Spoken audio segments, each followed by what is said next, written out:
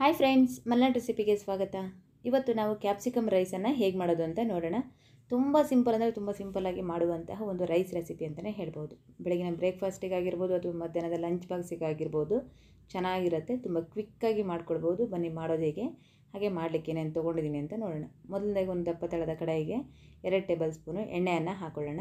ಎಣ್ಣೆ ಬಿಸಿಯಾದ ನಂತರ ಒಂದು ಕಾಲು ಟೀ ಸ್ಪೂನಷ್ಟು ಸಾಸಿವೆಯನ್ನು ಸೇರಿಸ್ಕೊಳ್ಳೋಣ. ಸಾಸಿವೆ ಚಟ್ಪಟ ಆದಮೇಲೆ ಒಂದು ಕಾಲು ಟೀ ಸ್ಪೂನಷ್ಟು ಜೀರಿಗೆಯನ್ನು ಕೂಡ ಸೇರಿಸ್ಕೊಂಡು ಇದಕ್ಕೆ ಒಂದು ಒಣಮೆಣಸಿನ್ಕಾಯನ್ನು ಈ ರೀತಿ ತುಂಡು ಮಾಡಿಬಿಟ್ಟು ಹಾಕ್ಕೊಳ್ತಾ ಇದ್ದೀನಿ. ಹಾಗೆ ಒಂದು ಮೀಡಿಯಮ್ ಗಾತ್ರದ ಈರುಳ್ಳಿಯನ್ನು ಉದುದ್ವಾಗಿ ಹೆಚ್ಚಿಬಿಟ್ಟು ಹಾಕ್ಕೊಳ್ತಾ ಇದ್ದೀನಿ. ಫ್ಲೇಮನ್ನು ಮೀಡಿಯಮಲ್ಲಿ ಇಟ್ಬಿಟ್ಟು ಈರುಳ್ಳಿ ಎಲ್ಲ ಸ್ವಲ್ಪ ಟ್ರಾನ್ಸ್ಪರೆಂಟ್ ಆಗೋ ತನಕ ಫ್ರೈ ಮಾಡ್ಕೊಳ್ಳಿ. ಒಂದು ನಿಮಿಷ ಫ್ರೈ ಮಾಡಿಕೊಂಡ್ರೆ ಸಾಕು.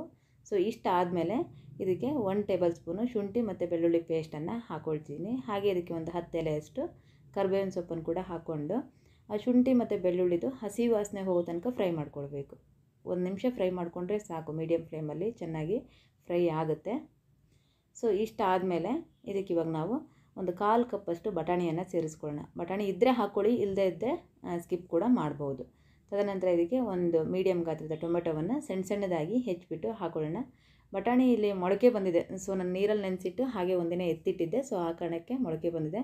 ಮೊಳಕೆ ಬರಬೇಕನ್ನೋದೇನಿಲ್ಲ ನಿಮ್ಮ ಮನೇಲಿ ಹಸಿ ಬಟಾಣಿ ಇದ್ದರೆ ಫ್ರೋಝನ್ ಅದು ಹಾಕ್ಕೊಳ್ಬೋದು ಸೊ ನೀಟಾಗಿ ಫ್ರೈ ಮಾಡಿ ಒಂದೆರಡು ನಿಮಿಷ ಬೇಯಲಿಕ್ಕೆ ಬಿಡಿ. ಯಾಕಂದರೆ ಇದು ಒಣಗಿರೋ ಬಟಾಣಿನ ನೆನೆಸ್ಬಿಟ್ಟು ಹಾಕಿರೋದ್ರಿಂದ ಒಂದು ಸ್ವಲ್ಪ ಟೈಮ್ ತೊಗೊಳುತ್ತೆ ಬೇಯಲಿಕ್ಕೆ. ಒಂದು ಎರಡರಿಂದ ಮೂರು ನಿಮಿಷ ಟೈಮ್ ತೊಗೊಳುತ್ತೆ.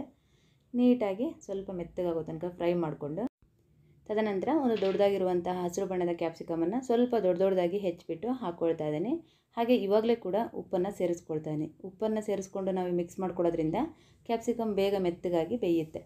ಸೊ ಉಪ್ಪು ಹಾಕ್ಕೊಂಡು ನೀಟಾಗಿ ಮಿಕ್ಸ್ ಮಾಡ್ತಾ ಹೋಗಿ ಬೇರೆ ಕಲರ್ ಕ್ಯಾಪ್ಸಿಕಮ್ ಇತ್ತಂದ್ರೆ ಹಾಕ್ಕೊಳ್ಬೋದು ಎಲ್ಲೋ ಅಥವಾ ರೆಡ್ ಅದನ್ನು ಬೇಕಂದರೆ ಹಾಕ್ಕೊಳ್ಳಿ ಸೊ ನೀಟಾಗಿ ಮಿಕ್ಸ್ ಮಾಡಿ ಸೊ ಇದಕ್ಕೆ ಇವಾಗ ಒಂದೂವರೆ ಟೇಬಲ್ ಸ್ಪೂನಷ್ಟು ವಾಂಗಿಬಾತ್ ಪೌಡರನ್ನು ಹಾಕ್ಕೊಳ್ತೀನಿ ಹಾಗೆ ಇದಕ್ಕೆ ಒಂದು ಟೇಬಲ್ ಸ್ಪೂನಷ್ಟು ಹುಣಸೆಹಣ್ಣಿನ ರಸವನ್ನು ಹಾಕ್ಕೊಳ್ತೀನಿ ಒಂದು ಎರಡು ಇಂಚಷ್ಟು ಹುಣಸೆಹಣ್ಣನ್ನು ನೀರಲ್ಲಿ ನೆನೆಸ್ಬಿಟ್ಟು ಅದನ್ನು ಕ್ಯೂಚ್ಬಿಟ್ಟು ರಸ ತೆಗೆದು ಹಾಕ್ಕೊಳ್ತಾ ಇದ್ದೀನಿ. ಇದಿಷ್ಟು ಹಾಕ್ಕೊಂಡು ನೀಟಾಗಿ ಮಿಕ್ಸ್ ಮಾಡ್ತಾ ಹೋಗಿ. ನಿಮಗೆ ವಾಂಗಿಬಾತ್ ಪೌಡರ್ ಹೇಗೆ ಮಾಡೋದು ಅಂತ ರೆಸಿಪಿ ಬೇಕು ಅಂದರೆ ಡಿಸ್ಕ್ರಿಪ್ಷನ್ ಬಾಕ್ಸಲ್ಲಿ ಲಿಂಕ್ ಹಾಕಿರ್ತೀನಿ, ನೀವು ಬೇಕು ಅಂದರೆ ಚೆಕ್ ಮಾಡ್ಬೋದು. ಸೊ ನೀಟಾಗಿ ಮಿಕ್ಸ್ ಮಾಡಿ ಲಿಡ್ಡನ್ನು ಕ್ಲೋಸ್ ಮಾಡಿ ಒಂದು ಐದು ನಿಮಿಷ ಬೇಯಿಸ್ಕೊಳ್ಳಿ ಸಾಕು ಮೀಡಿಯಮ್ ಫ್ಲೇಮಲ್ಲಿ ನಿಮಗೆ ಕ್ಯಾಪ್ಸಿಕಮ್ ಕ್ರಂಚಿಯಾಗಿ ಬೇಕು ಅಂದರೆ ಒಂದು ಎರಡರಿಂದ ಮೂರು ನಿಮಿಷ ಬೇಯಿಸ್ಕೊಂಡ್ರೆ ಸಾಕು. ಇಲ್ಲ ಕ್ಯಾಪ್ಸಿಕಮ್ ತುಂಬ ಮೆತ್ತಗೆ ಬೇಕು ಅಂದರೆ ಒಂದು ಏಳರಿಂದ ಎಂಟು ನಿಮಿಷನೂ ಬೇಯಿಸ್ಕೊಳ್ಬೋದು. ಫುಲ್ ಸಾಫ್ಟಾಗಿ ಬೇಕು ಅಂದರೆ. ಅದು ನಿಮಗೆ ಹೇಗೆ ರುಚಿಗೆ ಬೇಕೋ ಆ ರೀತಿ ಬೇಯಿಸ್ಕೊಳ್ಳಿ. ನೋಡಿ, ನೀಟಾಗಿ ಮಿಕ್ಸ್ ಮಾಡಿಕೊಂಡ್ರೆ ಆಯಿತು. ಎಣ್ಣೆ ಎಲ್ಲ ಸೈಡಲ್ಲಿ ಬಿಡಬೇಕು, ಅಲ್ಲಿ ತನಕ ಕುದಿಸ್ಕೊಂಡ್ರೆ ಆಯಿತು. ಸ್ವಲ್ಪ ಗೊಜ್ಜು ಜಾಸ್ತಿನೇ ಇದೆ ಸೊ ಎತ್ತಿಟ್ಕೊಳ್ತಾ ಇದ್ದೀನಿ. ಈ ಗೊಜ್ಜನ್ನು ಎತ್ತಿಟ್ಕೊಂಡು ಒಂದು ರೂಮ್ ಟೆಂಪ್ರೇಚರಲ್ಲಿ ಒಂದು ಎರಡರಿಂದ ಮೂರು ದಿನ ಇರುತ್ತೆ. ಫ್ರಿಜ್ಜಲ್ಲಿ ಇಟ್ಕೊಂಡ್ರೆ ಒಂದು ವಾರ ಇಟ್ಟರು ಕೆಡೋದಿಲ್ಲ, ಚೆನ್ನಾಗಿರುತ್ತೆ. ಸೊ ಇವಾಗ ಉಳಿದಿರುವಂಥ ಗೊಜ್ಜಿಗೆ ಅನ್ನವನ್ನು ಸೇರಿಸ್ಕೊಳ್ಳೋಣ. ಮೊದಲೇ ನಾನು ಒಂದು ಕಪ್ಪಷ್ಟು ರೈಸನ್ನು ಮಾಡಿಟ್ಕೊಂಡಿದ್ದೆ, ಅನ್ನವನ್ನು ಮಾಡಿಟ್ಕೊಂಡಿದ್ದೆ. ಅನ್ನವನ್ನು ಸ್ವಲ್ಪ ಉದ್ರುದ್ರಾಗಿ ಮಾಡಿಟ್ಕೊಳ್ಳಿ, ಚೆನ್ನಾಗಿರುತ್ತೆ. ಹಾಗೆ ಇದು ಫ್ರೆಶ್ಶಾಗಿ ಅನ್ನ ಮಾಡಿಬಿಟ್ಟು ಇದನ್ನು ಗೊಜ್ಜು ಮಾಡ್ಕೊಂಡು ಕಲಿಸ್ಕೊಡ್ಬೇಕು ಅನ್ನೋದೇನಿಲ್ಲ ರಾತ್ರಿ ಉಳಿದಿರುವಂಥ ಅನ್ನ ಆಗಿರ್ಬೋದು ಲೆಫ್ಟ್ ಓವರ್ ರೈಸಲ್ಲಿ ಕೂಡ ಮಾಡ್ಕೊಳ್ಬೋದು. ಹಾಗೆ ಇದಕ್ಕೆ ಒನ್ ಟೇಬಲ್ ಸ್ಪೂನಷ್ಟು ಕೊತ್ತಂಬರಿ ಸೊಪ್ಪನ್ನು ಸಣ್ಣದಾಗಿ ಹೆಚ್ಚಿಬಿಟ್ಟು ಹಾಕ್ಕೊಂಡು ನೀಟಾಗಿ ಮಿಕ್ಸ್ ಮಾಡ್ತಾ ಹೋಗಿ, ಅನ್ನ ಹಾಕಿದ ಮೇಲೆ ಫ್ಲೇಮನ್ನು ಸಿಮ್ಮಲ್ಲಿ ಇಟ್ಕೊಳ್ಳಿ. ಸಿಮ್ಮಲ್ಲಿ ಇಟ್ಕೊಂಡು ಬಿಳಿ ಅನ್ನ ಕಾಣದೇ ಇರೋ ರೀತಿ ನೀಟಾಗಿ ಕಲಿಸ್ತಾ ಹೋದರೆ ಆಯಿತು. ನೀಟಾಗಿ ಮಿಕ್ಸ್ ಮಾಡ್ತಾ ಹೋಗಿ ಅಷ್ಟೇ. ನಾವು ಮೊದಲೇ ಗೊಜ್ಜಿಗೆ ಉಪ್ಪು ಹಾಕಿದ್ದೀವಿ ಇವಾಗ ರುಚಿ ನೋಡಿಬಿಟ್ಟು ನಿಮಗೆ ಉಪ್ಪು ಬೇಕು ಅನಿಸಿದ್ರೆ ಈ ಟೈಮಲ್ಲಿ ಸ್ವಲ್ಪ ಉಪ್ಪನ್ನು ಕೂಡ ಸೇರಿಸ್ಕೊಳ್ಬೋದು ನೋಡಿ ಎಷ್ಟು ಚೆನ್ನಾಗಿ ಬಂದಿದೆ ಅಂತ ಎಲ್ಲ ಕಡೆ ಮಸಾಲೆ ಎಲ್ಲ ಹಿಡಿಯೋ ಥರ ಕಲಿಸ್ಕೊಂಡು ಎಷ್ಟು ಉದ್ರುದ್ರಾಗಿ ಬಂದಿದೆ ನೋಡಿ.